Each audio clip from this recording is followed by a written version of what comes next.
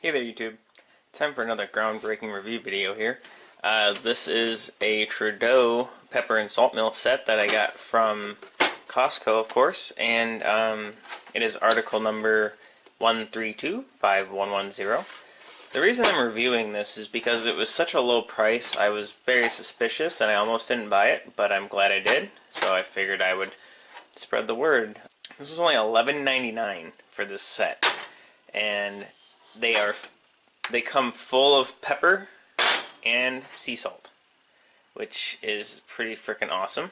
So I've been using this a lot in the past week, and I've barely touched the amount of pepper that it comes with, so that's pretty cool.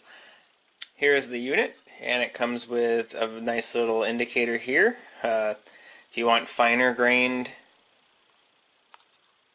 if you want finer grain uh, pepper or salt, you go clockwise, and if you want thicker grain, you go counterclockwise, just like that. When you do get it, you have to take the top off, and it's actually kind of hard to get a grip on there and take the top off, but not too bad. Here's a little functionality test for you. Uh, I have, I'm to put this in the middle of the road setting there, and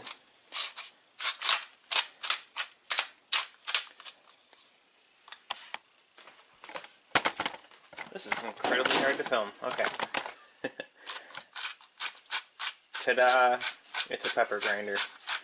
But um, the weight of it and the size of it makes it so you can get a nice coating on your mac and cheese, which is pretty much all I use this for. It's going to be harder to show the salt mill, but uh, it's pretty much going to be the same.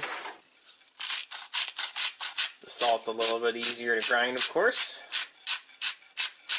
Um, but it's not like the pepper mill is that hard either. Uh, the reason I bought this was because we originally had a crappy little pepper mill and it was like this big and I was always filling it. And then I bought one from Amazon and it looked great in the photo, but it was like this big and like you would grind it and it would be empty also very quickly.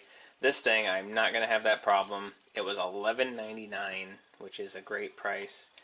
So, yeah, if you're looking at it and you're looking at this YouTube video, or, well, if you're not even at the store, buy it, because it's a good deal. Anyway, thanks for watching.